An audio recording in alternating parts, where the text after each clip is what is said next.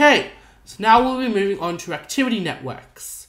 So activity networks are usually when you have some form of project and there's a lot of different tasks or activities involved in completion in order to complete the project. But the thing is, when we're doing a really large project, certain activities or certain tasks need to be done before you can commence a different task. And that's what a predecessor is called in an activity network. So, for example, if we're starting at this point and we're ending at this point, the first activities that we need to do are activity A and activity B.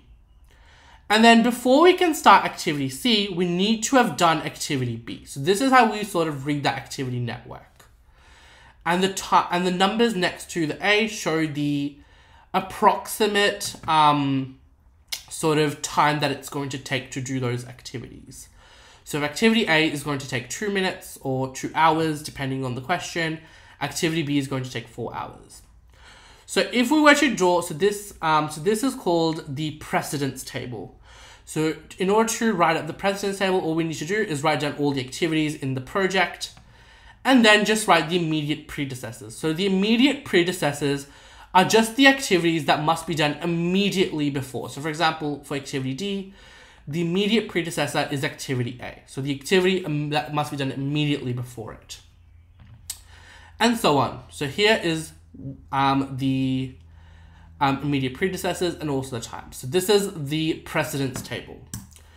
But a problem that you will shortly know um, when you write up the precedence table is the fact that some activities, for example here, might have the same, um, might have one of the same predecessors, but not all immediate predecessors are the same. So for example, activity D has an immediate predecessor of activity B. But activity E has immediate predecessors activity B and activity C. So that's a little bit of a problem because when we're drawing the activity network, when we're drawing up activity E, if we draw the line going from activity B all the way to activity E, and then we draw activity D as well, that will show that activity C and activity B are the immediate predecessors of activity B. But that's not really the case, it's only activity B. So we draw a dummy activity. So a dummy activity is where multiple activities share one but not all immediate predecessors. And by drawing up that dummy activity, essentially what we're doing is, um, so if we draw a dummy activity here, essentially what, that, what we're showing is activity D has an immediate predecessor of activity B. But activity E has an immediate predecessor of activity C and also activity D, um, and also activity B. So that's what it's used to sort of show. Activity, uh, dummy activities have um, a time of zero. They don't take any time. It's just there to sort of make sure the activity network is correct. Okay, so some quick definitions before we go on to critical path analysis. So a critical path is essentially the pathway network that takes the longest amount of time. Um, and all other activities sort of work around it. And then we have um, earlier starting time and later starting time. So the earliest starting time for any activity is the earliest time at which that uh, activity can be started. And then the latest time is essentially the latest time that an activity can be started without affecting the critical path. So the goal of critical analysis is not to affect the critical path, because if we affect the critical path, then we are essentially going to increase the amount of time that it takes to finish off the activity. Um, the project, sorry, not the activity, the project. And the float slash slack time is just the amount of time that a particular activity can be postponed without affecting the critical path. And the way that we find the float or slack time is essentially by subtracting the earliest starting time from the latest starting time. Okay, so now we'll have a look at doing forward scanning. So forward scanning is a really important skill when we're doing critical analysis. And the way that we do forward scanning is essentially just finding the earliest starting time for each activities. So for example, activity A, it can be, the earliest starting time is zero. So it can be started at any time. However, activity C must be started after 8 hours or after 8 minutes because activity A must be started before starting activity C. So that's why the earliest starting time for activity C is 8. And then for activity E, it is 9. Because activity A and activity C must be done before starting activity E. Similarly for activity, okay, so then we'll move on to this path. So for this path, the minimum the early starting time for activity B is zero because it can be started at any time because we don't have any immediate predecessors. Activity D, however, must be started after six hours because it needs to, um, because activity B must have been completed before starting activity D. Activity F is a little bit weird. Both activity A, activity C, activity B, and activity D need to have been completed before starting activity F.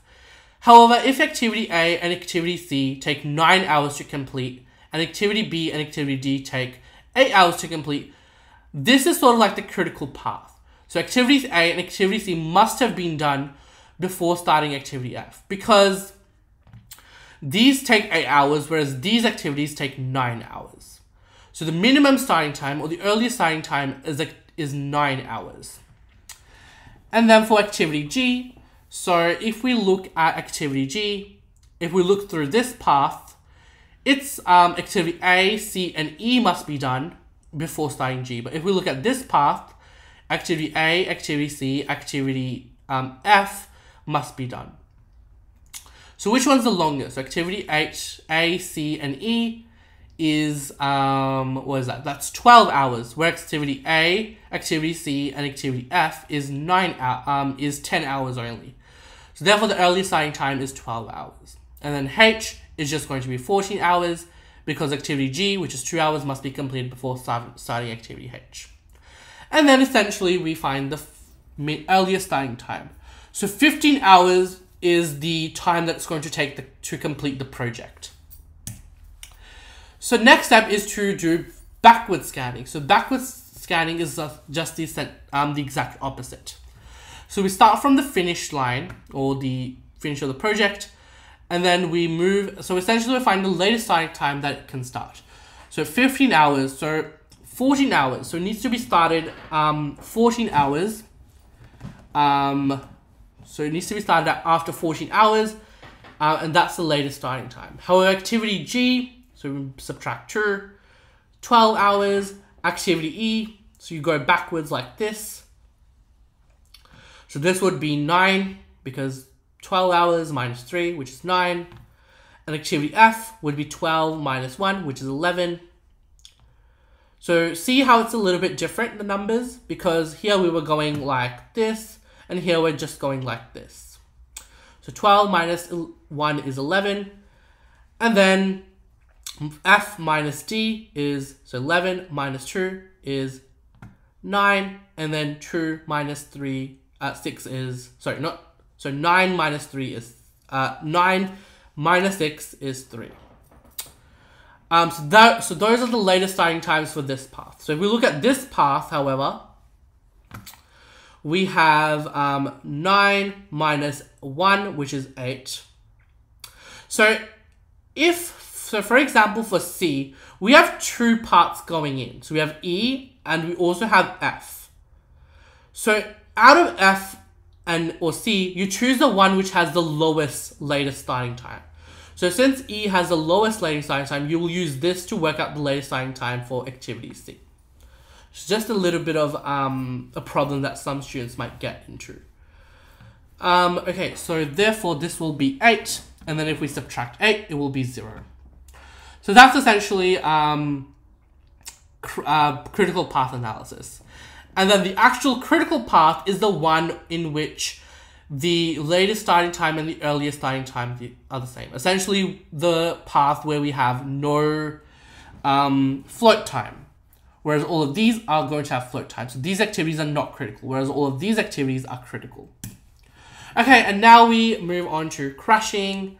So crashing is just involving the chain. Um, so sometimes we might need to change the conditions of the activity in order to reduce the completion time.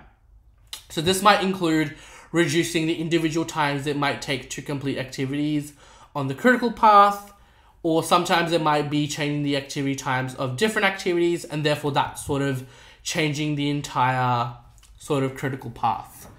So um, there's a lot of trial and error, and you will, uh, and this is best done by doing a lot of practice questions. Um, and then another thing that you will be having a look at um, is crashing with cost. So crashing with cost is sometimes when a certain cost is associated with crashing a particular activity. So crashing essentially just reducing the time that it takes to um, for an activity to sort of occur, or the time it takes for it to complete an activity. So if activity D, for example, takes $150 per hour to reduce, and activity E takes $180 per hour to reduce, and they're both on the critical path, it will be much more beneficial to reduce the cost of activity D um, because that only costs $150. So, hope, so that's just crashing. So crashing with cost is just when you reduce the time, but, but there's a certain cost associated. Okay.